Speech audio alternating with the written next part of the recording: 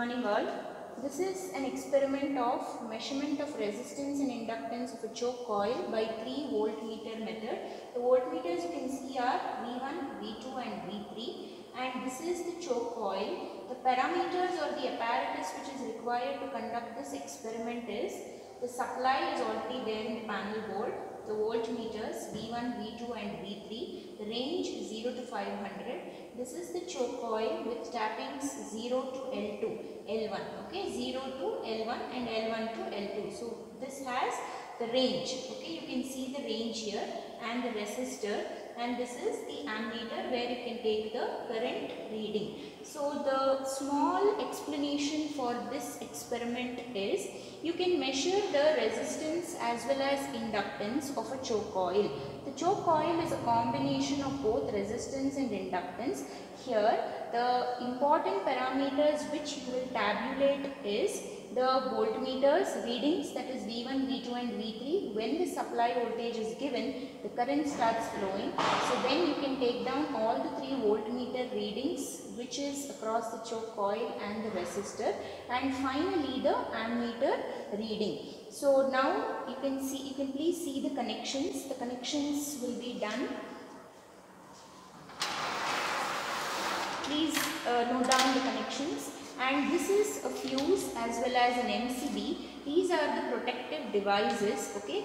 Whenever the auto transformer, whenever the supply is given with the help of an auto transformer, initially you set the voltage to 100.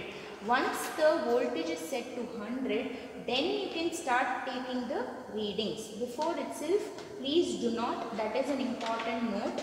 Once Slowly you need to vary the auto transformer to 100, set the voltage and then you can take down the readings from the voltmeter as well as the current readings. Now please look into the connections which is being done. And one more thing, fuse and MCB as told, they are the protective devices, okay. If there is any fluctuation or variation in the voltage and the current, it will protect the entire panel from the disruption or from the fault. Thereby it disconnects itself and thereby the circuit is achieved with the protection. MCB is a miniature circuit breaker as well as fuse is a low voltage device.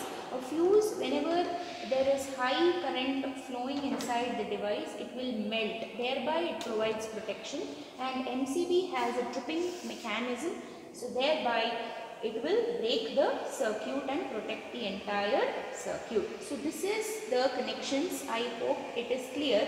And now what all readings or tabulations you need to follow is uh, you can check with your lab manuals while studying. Initially you will note down once initially first before starting the experiment you should make sure the auto transformer is 0 and then slowly you should vary the auto transformer and then set the voltage to 100 and then you can take down the readings. Okay? So now first you, ha you have to note down the supply voltage. Okay? Then the choke voltage across the choke that is this value you can note down from your voltmeter and then the voltage across the resistor okay and then the current which is flowing. We will just see the experiment for one reading. Now please we will take the reading for one now initially I have switched on the board, the board is in the active uh, condition. Once first the supply voltage is given, then slowly, by slowly varying the auto transformer, you please give 100 volts. Set the voltmeter to 100 and then you can start off the experiment.